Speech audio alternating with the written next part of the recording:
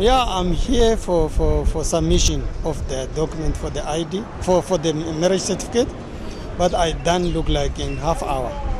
But everything is good. I don't see any wrong things.